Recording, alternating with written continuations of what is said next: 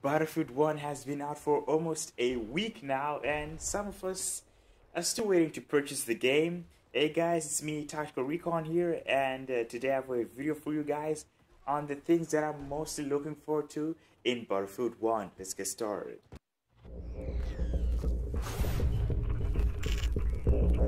Now, just before we get started on this commentary, uh, just a quick note on the gameplay here. What you're seeing is Battlefield 4, obviously, uh, but what is actually pretty special about this, it is it's on ultra and 60 frames per second on the PC.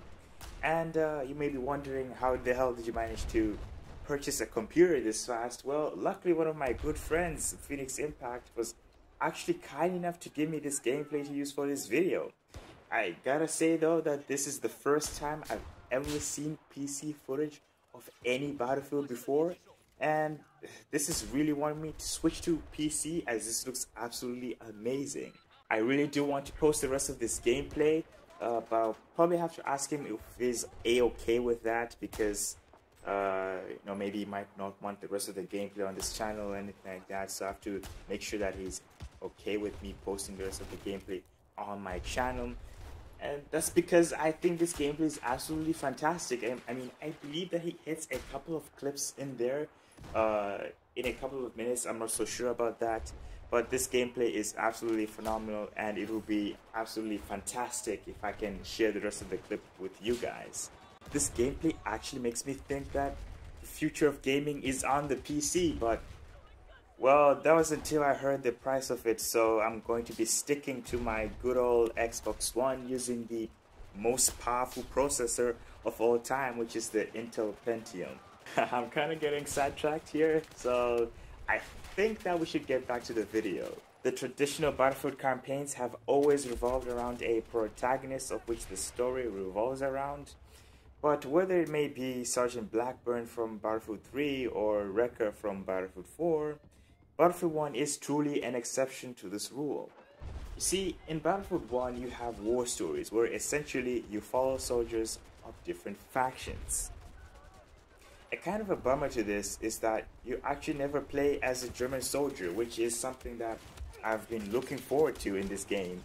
And uh, I've heard that there's a Russian extension that has been confirmed, and hopefully that means that the German extension comes as well in the future is this is one of those perspectives that are rarely ever shown in video games these days.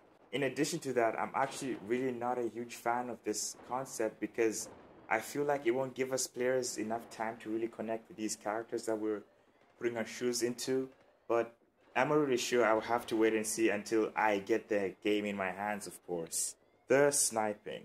I was actually just in a conversation with Phoenix Impact the other day and we kind of discussed how we both thought about sniping in Battlefield 1 based on our experience on the uh, beta and alpha versions of the game. And what is actually pretty interesting about this is that he felt that, uh, well, at least from what I recall, which is that the sniping in Battlefield 1 feels more solid than in previous games due to the high bullet velocities and whatnot. But me, on the other hand, I felt like the sniping was a lot more accurate in Battlefield 4 and I think this is because actually the scopes in Battlefield 1 don't have the distance markers that you actually have in Battlefield 4 when you scoped in, which kind of helped for those long range distance encounters. But once again, I'm not really sure on this point. The game might have changed since the beta, and uh, but my decision still can change when I get the hands on the final game of Battlefield 1. And finally, the new Operations game mode. Now Battlefield 1 will include the classic game modes as well as a new game mode called Operations. Now in Operations you wage war across several maps and runs an interconnected series of battles and the way that I can easily describe this is that Operations game mode is like Rush and Conquest had a baby and that the baby represents operations of course. Now, personally, this game mode seems like something that could potentially kill Rush in this game, as it appears to be a better version of it.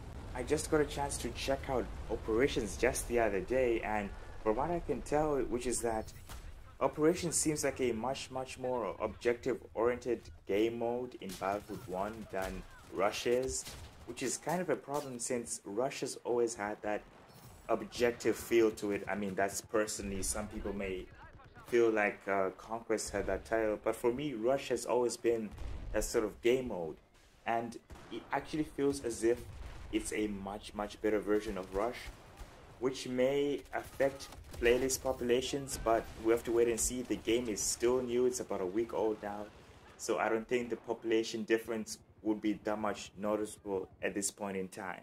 Well, there you have it, folks. These are my top three things that I'm looking forward to in Battlefield 1. Obviously, there are more things.